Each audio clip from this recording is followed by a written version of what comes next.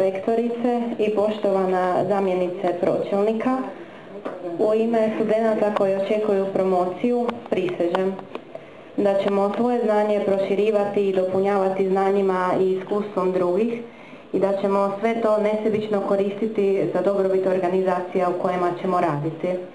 Da ćemo suradnicima i posebno mlađim naraštajima svesretno pomagati da se stručno razvijaju da ćemo stečeno znanja koristiti na opće dobro i boljitak naše domovine Republike Hrvatske. Prisežete li? Prisežem.